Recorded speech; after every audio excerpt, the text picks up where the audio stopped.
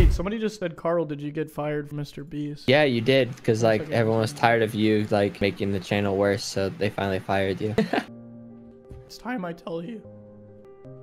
No, I actually I haven't been fired. Beast. In this video, I will show you every single tweet and every word Mr. Beast crew has ever said about Karl Effect. But first let me tell you what Karl Effect actually is. Some people associate it with Mr. Beast channel. Talking about this was the reason why Jake the Viking left. The content became more family friendly since Karl joined etc. However, the most Mr. Beast fans associate Karl Effect with Chris Tyson changes because he came out as bisexual exactly after Karl joined the crew. He left his wife and now came out as a transgender. So let's get into it. First time the Karl effect was mentioned was Mr. Beast collaboration with the Sidemen, where Jimmy said maybe Karl didn't ruin Mr. Beast in the middle of the video. Maybe Karl didn't ruin Mr. Beast. After Chris started acting like a female and grew a long hair, he mentioned the Karl effect several times. Yada yada yada, Karl effect. At the time, people thought Chris is dating Karl. Chris tweeted this. The Karl effect, while it lasted, was funny to me because you all think he is my type. I'm into way taller than me, ripped and quiet. Every time I had to see someone talk about me and Karl dating, I was like, they just don't have any clue. But what if I tell you that Karl Jacobs himself makes fun of the Karl effect and don't really hates it? When they were making big changes at Mr. Beast? You've gotten some people saying that you have ruined Mr. Beast.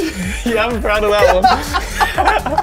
it's, that's, That one's funny to me. I was laughing about this with Jimmy the other day. Like, they think it's like a conspiracy. Karl was brought onto Mr. Beast to make it more child friendly. I could be definitely polarizing. Like, I'm loud sometimes. You know what I mean? I get if you don't like how I act, that, that's fair, whatever. If you thought Chandler has never commented the Karl effect, that's not true. Chandler was actually the first person Chris Tyson came out to and, as Chris said on Twitter, Chandler was the most supportive person in his life, while Karl just gave him confidence. The only Mr. Beast crew member that hasn't said a word about Karl effect is Nola. See ya.